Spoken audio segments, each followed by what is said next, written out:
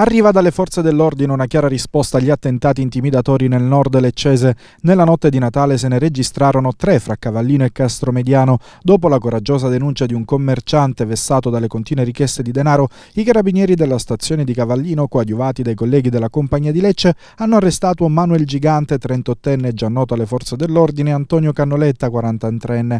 Entrambi, stando alla denuncia del commerciante, avrebbero messo in atto una serie di richieste estorsive fra Capodanno il 7 gennaio pretendevano la somma di 1000 euro, ma all'appuntamento si sono presentati anche i carabinieri che hanno stretto le manette ai polsi dei due condotti in carcere. I militari ora stanno indagando per capire se c'è un legame tra gli attentati di Natale e la richiesta estorsiva di Capodanno.